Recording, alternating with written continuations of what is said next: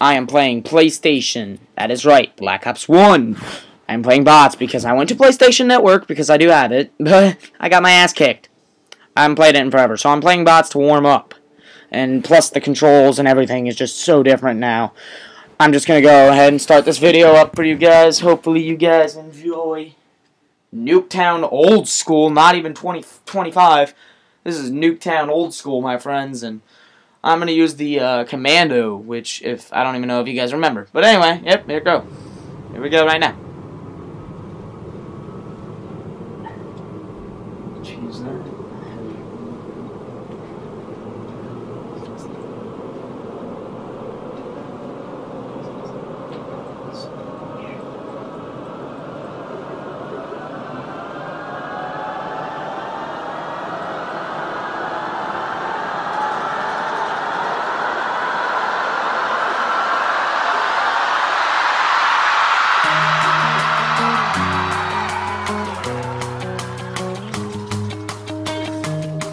God damn.